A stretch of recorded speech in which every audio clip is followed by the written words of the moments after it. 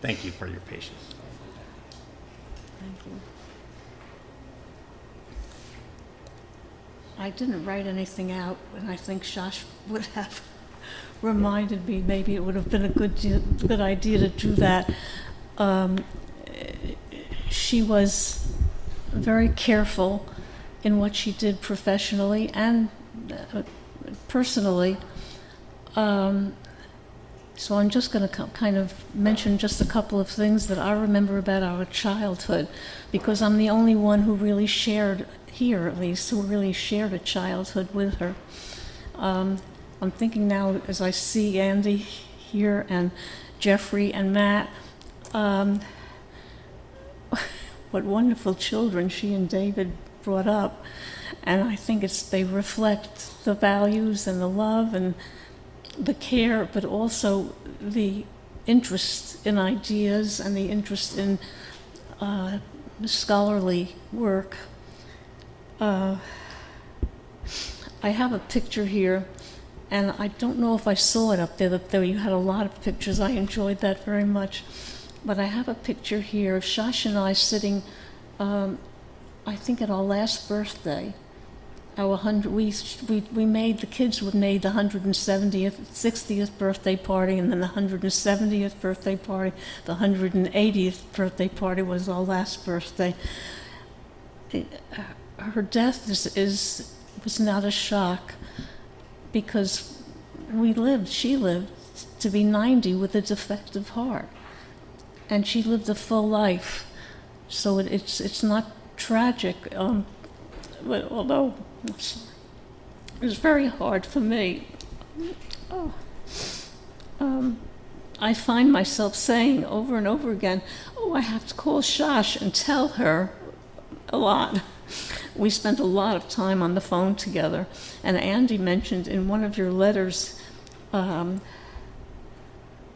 I think to me a while ago, I can't remember where you were, uh, but you remember you remembered you talked about so often how Shash was on the phone with Aunt Vivi. And, and she said, I don't know how they find so much to talk about. but we did. And we certainly shared talk about our kids a lot and, and also about our, our professional uh, lives. Um, I think sometime that I felt, I think we were competitive, which is not unusual. And sometimes I think that I was pushed ahead too by competition with her. I don't know that I was so sure that I wanted to leave the kitchen um, uh, and the kids. And um, I used to feel very guilty about getting a babysitter if I had to go to a class. Uh, but I did eventually get a doctorate too, and, and ended up teaching for 35 years at Drexel in history of ideas. And so I had it all. I mean, it really is, she and I, Shash and I, were part of a generation of women who really began to think that they could be out of the kitchen part of the time, that it was okay to get a babysitter once in a while, not just because you were going out with your husband at night, but because also you were doing work during the day. And um, so I think we had very full lives that reflected social and political changes and attitudes, changing worldview in, uh, in our own lives. Um, the picture I have of the two of us here is a picture I love best, and it's a picture of the two of us sitting outside. It looks to me like we must have been visiting mom in Florida. Somehow or other, they look like lawn chairs that we're sitting on. I don't know where we were. Lawn chair. And, and was it Florida? Yep. Yeah, uh, we used to go when mom went every summer, every winter, uh, for two or three months to Florida and eventually ended up living there. So we used to visit her. And when we visited together, we were together again. In other words, we didn't bring our husbands with us to, to, to visit her. They were busy working, and, uh, and we would have that time with mom, but also with each other. Um, and mom would say sometimes, um, "Oh, don't bother with the beds. Go, go. We'll make them later. Go out and take a good walk now when it's not too hot." go with, go with Shosh, and she very much enjoyed and encouraged the closeness that Shosh and I felt. Um, so in this picture, we're laughing together, and and Shosh has this open laugh, and I have my head, my hand in my head going, and we're laughing. What we're laughing about, I don't know. I don't know that we were telling jokes to each other, which occasionally we did. Um, some of you might remember the joke. I'm not going to tell the whole one, but, but it is. It, the end of the joke is, "Do you have two fives for a ten? and we could just set each other off by that. By occasionally say, "Do you have?" When we if we walked into a ladies' room together, say, "Do you have two fives for a ten? The two of us would start giggling. So we giggled a lot together, and I think that it was a it was really a um, a miracle in a way of our lives. I mean, having a twin sister is nothing that we did to do that, but we had that pleasure. Um, and it made for a very full life. Um, I didn't know her more than any, most people here did of, as a child, and one thing that came to mind was a time one day when she got dressed up in kind of a, an adult look and that she was aiming at. She must have been about maybe 14 years old, 15 years old, and she had put her hair up in kind of a bun. And she walked down the stairs and kind of sashaying in a way that she thought that older women did when they walked up and down the stairs. And she said to my mother, um, uh, When I get older, I'm going to dress up as a maid Where did she get that? I don't know. She said, and I'm going to go out and work and make my own money. I think partly the only the only women she saw who were working because women in in that generation, our mothers didn't work, and um, now it's much more acceptable for women to go out and have a, have that double life. But um, she said, I'm going to go out and work and make my own money so I, I can buy what I want. And I was horrified. I mean, I was standing at the top of the stairs and I want to say, Shaw, shut your mouth, stop it. But whatever she had in her head it often came out, right? and um, and uh, I don't know how my mother interpreted that or whether she said anything, but mom was, mom was a good mother. And she didn't. Um, but she was hard on Shosh. And I felt really bad about that. And um, once, she used to say occasionally, um, I'm going to wallop you, Mom used to say. Remember, those of you remember Grandma Margie? It's hard for me to believe that she used that kind of language. I never, I don't remember ever saying to my kids, I'm going to wallop you. Maybe they were better kids than you, I don't know. But um, uh, but I remember what, the, the reason that she was running after us then, and she had her hand up like this. I'm going to wallop you. She never touched us. She never hit us, but she would sometimes yell at us. And what had happened was that Shash and I decided, and I do believe it was her idea, maybe I'm wrong, but I think it was, that we were going to go to a magic shop and buy a make believe ink stain and put it on the new rug in the living room so that mom would think that we had gotten ink on the, on the rug, but of course we didn't. So uh, we put down the stain, and we're looking at that little make believe stain on the new beige, light beige living room rug. And Shash says, This isn't good enough. She says, I'm going to get an, uh, an ink pen and put it near the stain. So she went and got the ink pen, and as you probably figure, the the, the rest of the story, the ink pen uh, uh, dripped, and there was a, a real ink stain on it. And of course, then we ran and we got some water, and we were trying to wipe it off. I don't ever, I don't, I don't remember if that ink stain ever really got wiped off, and I'm sure Mom wasn't happy about it. But she was full of ideas, Josh. and, and, and Mom and I was the much more obedient child. And mom told me, and, and she told me this, um, chuckling about it. She said, You know, um, you were always trying to, to tell me not that I shouldn't be so hard on Shash. And, and, and I did. I just felt that mom was really too, uh, uh, in a way, threatening of Shash to stop being, doing these nasty things or naughty things. Not nasty, but naughty.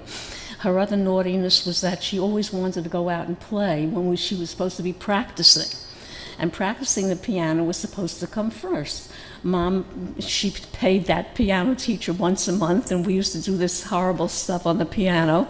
We were supposed to practice at least a half hour a day. Well, Shash was practicing, but she heard the kids playing outside.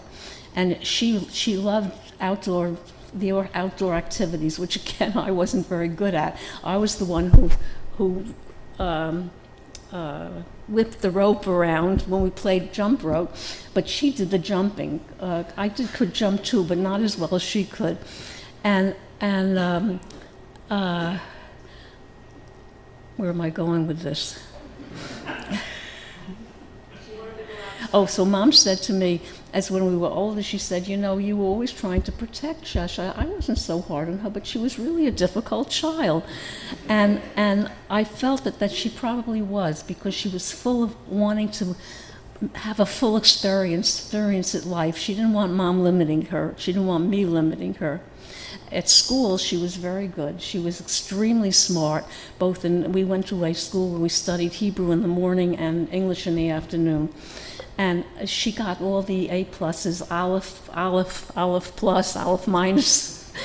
and uh, I did well enough, but I, I always felt that I was kind of pushing hard to keep up with her. Uh, but there wasn't any, uh, and th- there wasn't any conflict with us over that. And I don't remember ever arguing with her. Is that possible? I, I don't know, but I, maybe I just don't want to remember it, but I don't remember it. So uh, I was the lucky one with the good heart, and so I'm still. I mean that. I mean that literally, a heart that works well. And she had a murmur at a very early age, and um, I don't know that she let it limit her, but obviously, this is one of the reasons she died. Right? They couldn't. They couldn't put a new pacemaker in, and uh, her heart just wasn't up for it, and when I spoke to her, the last time I spoke to her, she was with you, Andy. And I think she was lying in bed. And uh, she said, Mom, you called me. And she said, Mom wants to see you. And, I knew I couldn't get there just like that. So I said, Can we go on FaceTime? And of course, we're lucky now to have the modern, a modern technology like that. So Andy went on FaceTime, and so did I.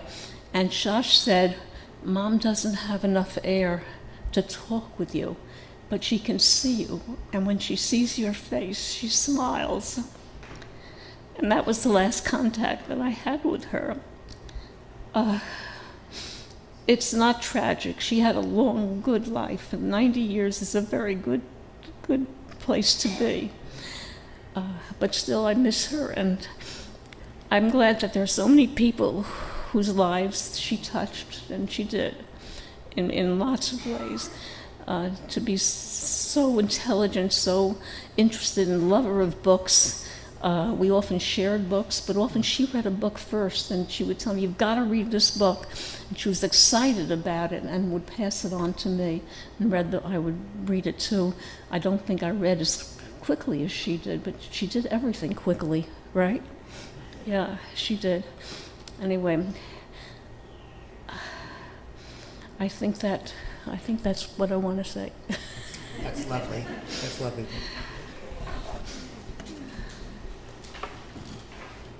You're gonna have to take it down first.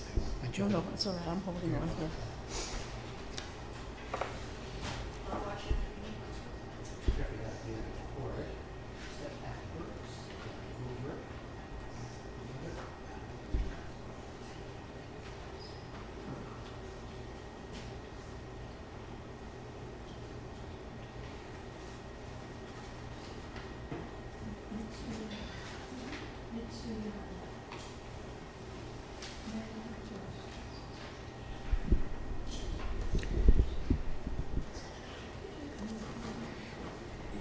Thanks, Viv. That was really lovely. Um, um, I don't think Jeff mentioned in talking about mom's scholarship that one of her uh, her uh, favorite topics, and she wrote a paper on the double Bildungsroman, which is um, in English the story of um, two connected lives, people growing up together, and uh, we can see why um, that was a, that was a theme for her. Um, it was so important her that relationship where they they talked and laughed almost every day their whole lives from when they were little girls.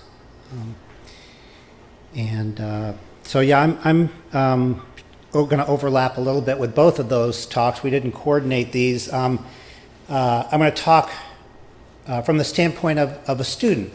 Um, of course, I wasn't a college student of hers, but mom uh, taught uh, all three of us, Andy and Jeff and I, from an early age. And uh, one of my, my quintessential quintessential pictures of her is her sitting in that velour chair that showed up in some of these pictures with a book on her lap.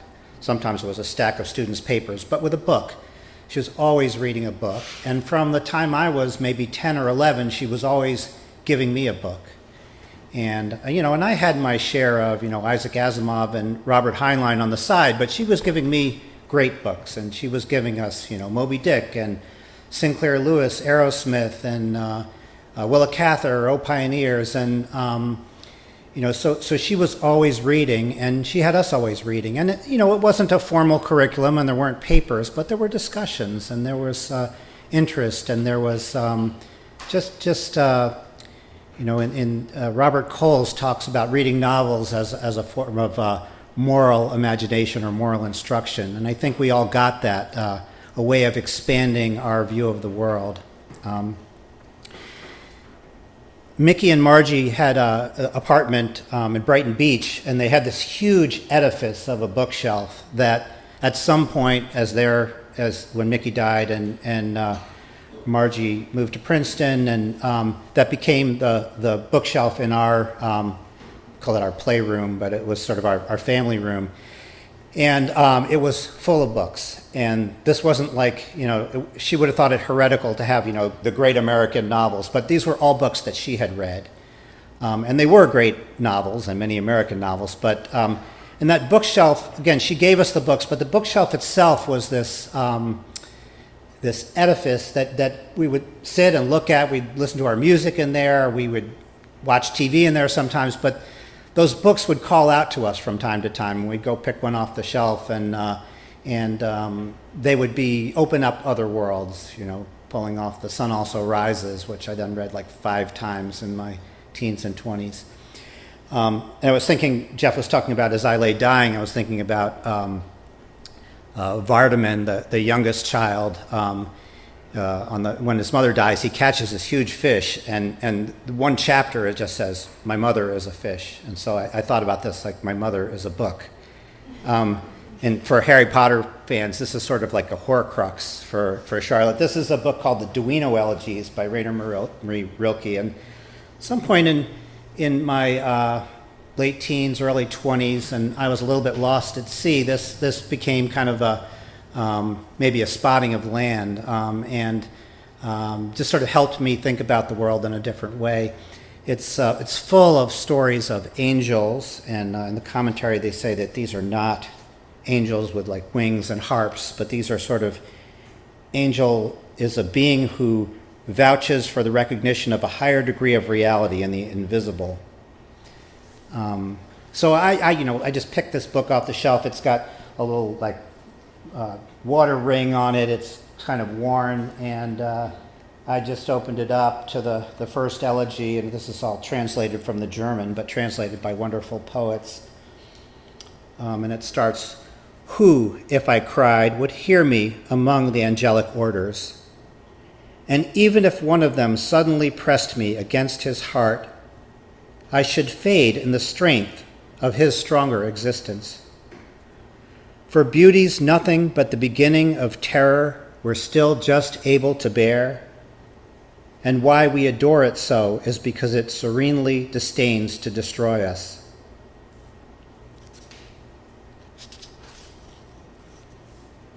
A little further along. Yes, the springs had need of you. Many a star was waiting for you to espy it. Many a wave would rise on the pass towards you, or perhaps as you went by an open window, a violin would be giving itself to someone. All this was a trust. But were you equal to it? Were you not always distracted by expectation, as though all this were announcing someone to love? He goes on and talks about heroes, talks a lot about the youthfully dead and how the dead speak to us. Um,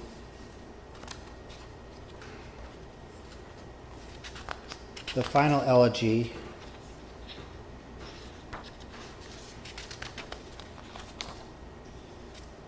Um, starts like this. Someday, Emerging at last from this terrifying vision, may I burst into ju- jubilant praise to assenting angels. May not even one of the clear struck keys of the heart fail to respond through alighting on slack or doubtful or rending strings. May a newfound splendor appear in my streaming face. May inconspicuous weeping flower how dear you will be to me then, you nights of affliction. Oh, why did I not, inconsolable sisters, more bendingly kneel to receive you, more loosely surrender myself to your loosened hair? We wasters of sorrows, how we stare away into sad endurance beyond them, trying to foresee their end, whereas they are nothing else than our winter foliage our somber evergreen, one of the seasons of our interior year. Not only season, they are also place, settlement, camp, soil, dwelling. So, an invitation to lean into our grief a little bit as a way of connecting us to life.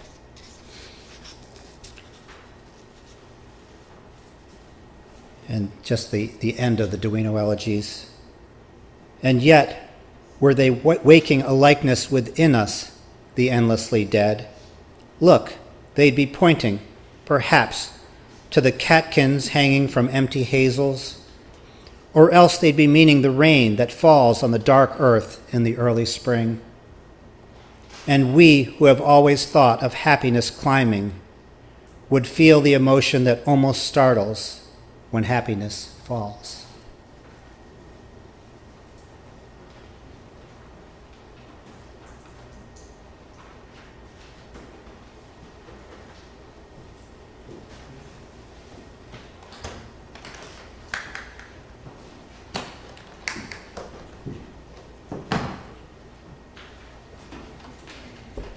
Um, I'm Julie, Shasha's granddaughter, and I guess I'm here to introduce another facet of her life, which was that she was a lover of music and song.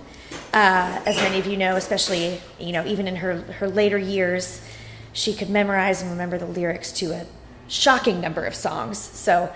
Um, you know, as her granddaughter, you know, from a very young age, we have a, I think, a home video. She would teach me songs. There's a home video of her teaching me "I'm a Little Teapot," you know, here was my handle and my spout, and she would teach me how to tip over and pour the tea out. So um, I thought about singing that, but this didn't seem like quite the right tone to set. Um, and then uh, at Grandpa David's memorial service, she had asked that I sing a song by Joni Mitchell, Both Sides Now.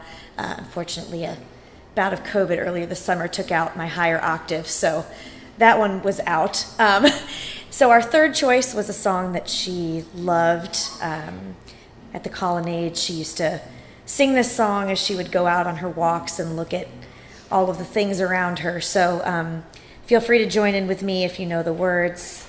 Um, I'm going to sing the first verse twice at the beginning and the end uh, because that was her favorite way. That was her favorite verse. So here we go.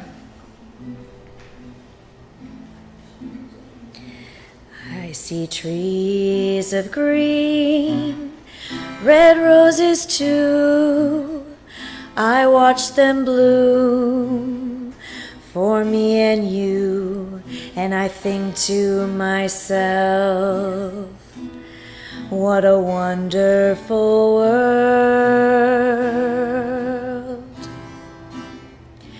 I see skies of blue, clouds of white, the bright blessed day, the dark sacred night, and I think to myself, what a wonderful world. All the colors of the rainbow, so pretty in the sky. I see them in the faces of people passing by.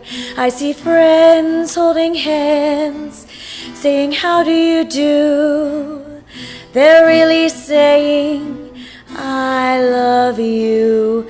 I see trees of green, red roses too.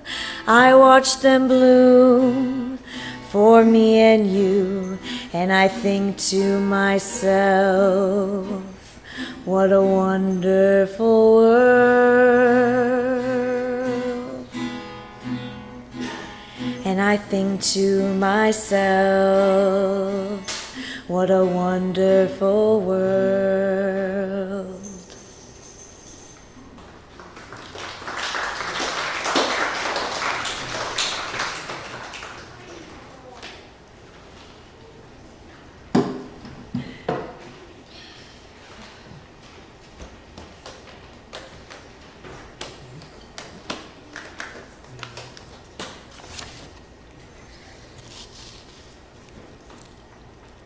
During the last few years, one of Mom's frequent questions to me when I visited her was, How do you remember me as a mother?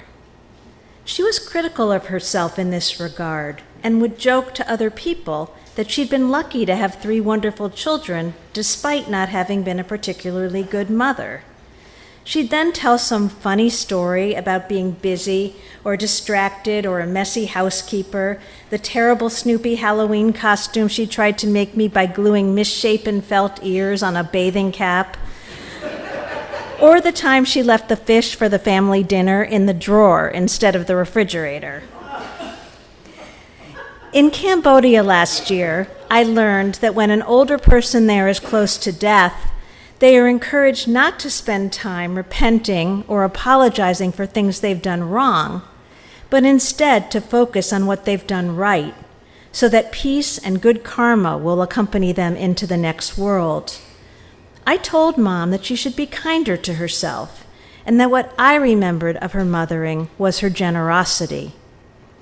In my earliest childhood memory, I am brushing my teeth at the sink in our Riverside Drive apartment and mom is looking out the window. She points up to the sky and says, Look, Andy, the moon. In this memory, rather than just observing the glowing crescent herself, Mom takes the time to share that moon with three year old me. When I was too shy at seven to join a brownie troop, Mom, busy with her graduate studies, volunteered to be a troop leader to make me feel comfortable. When I had multiple teeth pulled, she made sure that each experience of orthodontal trauma ended with me receiving a new Nancy Drew book to read on her bed under her fuzzy blue afghan. Even when I was an adult, Mom helped when I needed her most, bailing me out during my second pregnancy by spending six weeks of her precious summer vacation at my home, playing with three year old Julie, probably singing I'm a Little Teapot, and coaxing me through my nausea one bite of macaroni at a time. During her final week of life, when mom learned of the birth of her great granddaughter, Anna Sophia, she said she wanted to send her a gift a crib, she decided. Lying in that crib, which arrived the day before mom's death, mom's tiny descendant is wrapped in the generous arms of the great grandmother she never got to meet. Of course, what mom most enjoyed gifting were her words. Sometimes she shared words too honestly, and we kids would be embarrassed by something outrageous she said, or hurt by a too blunt opinion. But for the most part, we were entranced by the things she said. She told us wonderful stories from her childhood, like the time she and her mother and sisters had to climb a ladder to get out of a maroon subway car, and she was sure that the firemen all saw her mother's bloomers. She told us the plots of all the books she read and the movies she saw. I remember one year she took a film course on Godard and Bergman, and every week when she drove me to my violin lesson, she'd narrate an entire film plot in the car Weekend or The Seventh Seal in fascinating detail. In her professional life, Mom shared with her students the words of the women writers she admired. And in her own writing, she brought attention to some of these under-recognized authors. She often lent books to my friends, generally a book she suspected they would not find on a high school or college syllabus. In the past few weeks, various friends have recalled her introducing them to writers like Kate Chopin, Louise Erdrich, and Toni Morrison. When my friends returned their books, Mom would discuss the novels with them. Always respectful of our opinions, one friend wrote, never condescending. In Mom's obituary, my brother Jeff suggested that people honor her memory by reading a novel by a marginalized writer and discussing it with a friend. This sharing of stories was Mom's favorite way to give of herself. It was no surprise to me that many of the condolence cards I've received specifically mentioned Mom's generosity. How she ran in and made a salad in two seconds flat for a sick friend's family. How she mentored colleagues at Skidmore helped them develop ideas for new courses, and gave them support and encouragement with their writing. How she was always the one to initiate collecting a gift for the departmental assistant. And her colleague Susan Kress, who's here, noted that mom once shared a motel, her motel room with her on a snowy night so that Susan didn't have to drive home. Mom, I thank you for sharing the moon and all your stories with me, from Grandma Margie's bloomers to Bergman's chess game with the angel of death. And I thank you for gifting all of us here with your energy, your enthusiasm, your sense of humor, your contagious chicken laugh, and your always fascinating words. The song which cousin Steve is about to sing, L'Dor Vador, or From Generation to Generation, captures well how you generously passed your wisdom on to the generations after you. And Steve, um, we after Steve sings, we were going to do some group memory sharing, but because of the time, we're going to do that downstairs while we're eating instead. So, Steve, once you finish L'Dor Vador, could you lead us in the Mourner's Kaddish, which was how we were going to end? Do you need the words to it, or do you know them by you know? I you know. Okay. So thanks so much for all of those marvelous thoughts of the woman that we all loved, and she brought the three of us together. So I'm Steve Goodman. I'm the son of George Goodman, who is the brother of David, who she married. So uh, um, Shosh was my aunt. Uh, this is my brother David, uh, exactly the same relation. And this is Alan Shapiro, who's the son of Viv. And I had never uh, remember meeting Alan before and we tried to figure out how we were related, and we both realized we had the same aunt, so we must be related. But by 23andMe criteria, we are technically unrelated. Uh, but we, I studied this. I thought that's not possible. You can't share an aunt and be unrelated. Um, so I, I, searched and searched, and, and I found one term which was political cousins. I didn't like that. But because uh, Shosh has brought us all together to make music together, which we have never done before, even I have never sung with David playing his beautiful clarinet, we decided that we're all lyrical cousins. Um, so this is uh, L'Dor Vador, which is a beautiful setting by a, a cantor from uh, Los Angeles. Um, and as Andy said, it's a uh, you, it has sort of a camp song version, L'Dor Vador, L'Dor, which really doesn't honor the seriousness of it, which is how we pass on values, beliefs, and uh, really uh, how we live our lives to our to the next generation. And it's it's how we live. And I think we heard the stories for Shosh of how she lived her life was the most powerful way of conveying her values and and and has been absorbed by her children and her nephews and everyone uh, she touched and and that's what this is so here we go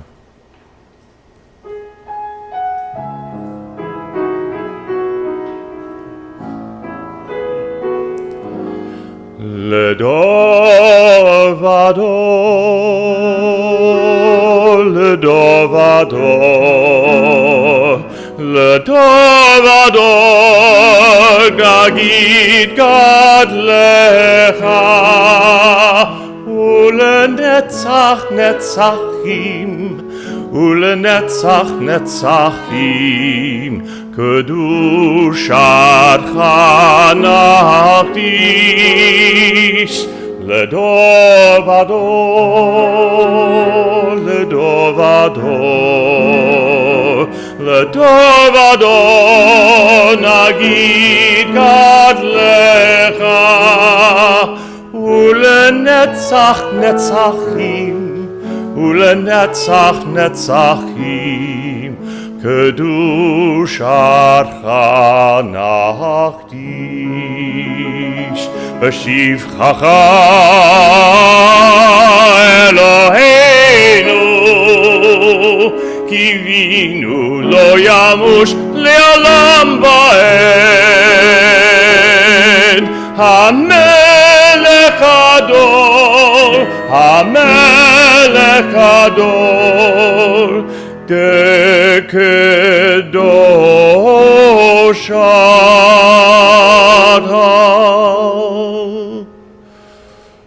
לדובדו לדובדו לדובדו נגיד גדלך ולנצח נצחי ולנצח נצחים. קדושתך נקדיש. ברוך אתה אדוני.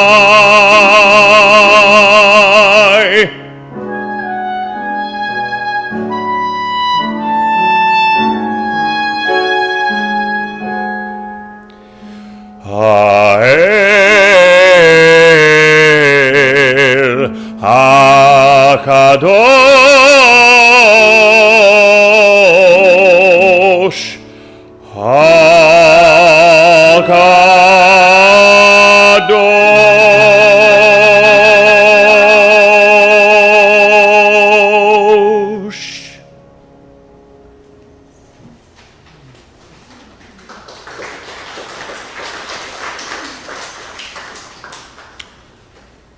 I actually need the, the, the Yitzchak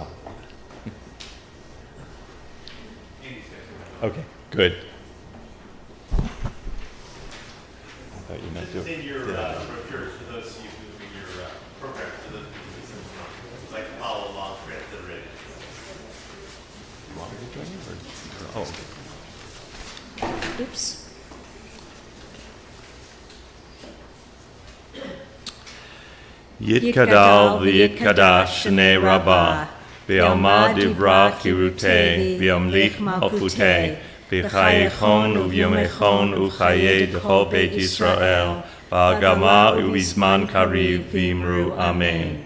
Yehe shmei rabbah mivrach li'olam u'lamai almaya, yitparach v'yishtabach v'yitpa'ar v'yitroman v'yitnaseh, Viet hadar, viet halev, viet halal, shmei kedusha brichu. Leila min kol birchata v'shirata. Tu svichata v'nechemata damiran bi'alma v'imru amen. Yehe shlama rabba min shemaya. V'chayim aleinu v'yal kol Yisrael v'imru amen. Osei shalom bimromav. Hu ya'aseh shalom. Aleinu v'yal kol Yisrael v'imru amen. Oh, Say shalom bimromav. Hu ya'aseh shalom aleinu. Ve'al kol Yisrael. V'imru, v'imru, Amen.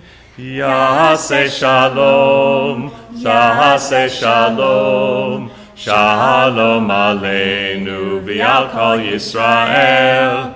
Yaseh shalom, yaseh shalom, shalom aleinu v'al kol Yisrael.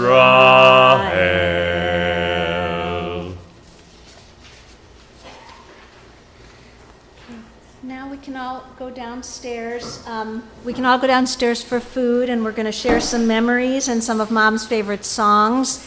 And um, for those who need it, there's a lift to downstairs, but everybody else, the stairs is down to the right, uh, the lift is to the left.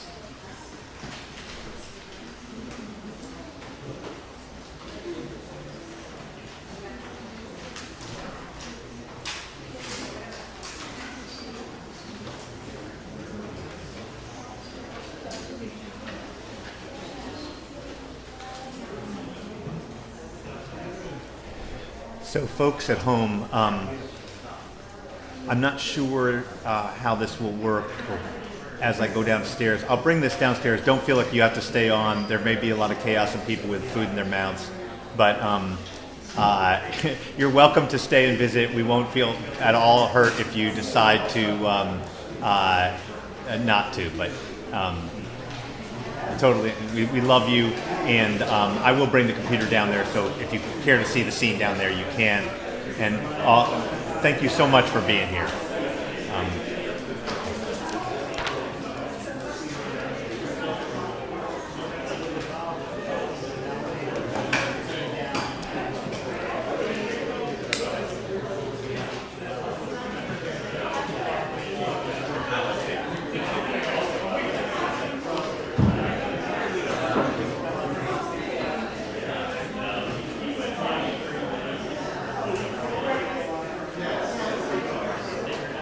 well, it was fun getting to read her stuff. To, to get read her words. Yeah. Yeah. Well, yeah.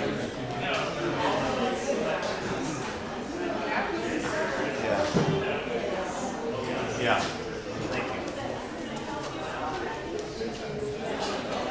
Yeah. I'm sorry.